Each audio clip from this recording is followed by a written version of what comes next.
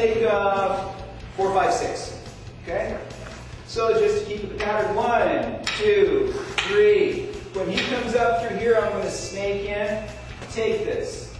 See? If he holds on to it, I lock in and throw. Drop down. Some of the same things you saw from Mastermind. Family system. Okay, we'll do that one again. One, two, three, four. Shoot this in. Strike through. Punyo hook. This is a Valenzuela style. Okay? Okay?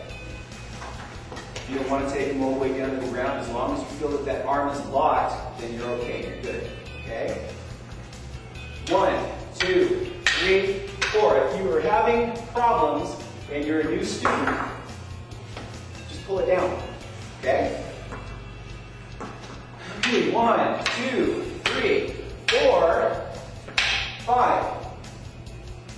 Here we have, I'm turn a little bit. Punyo insertion. And just push the hand over the top of your punyo and come down. Okay? Believe it or not, these are real quick fixes. One, two, three, four, five. See, if I come over the top this way, I'll just find it and come back to this. As you slice through this way, I come back in through here. What makes this work is I'm pulling my punyo back into me as I pull his hand forward and down. They go all the way down to the ground.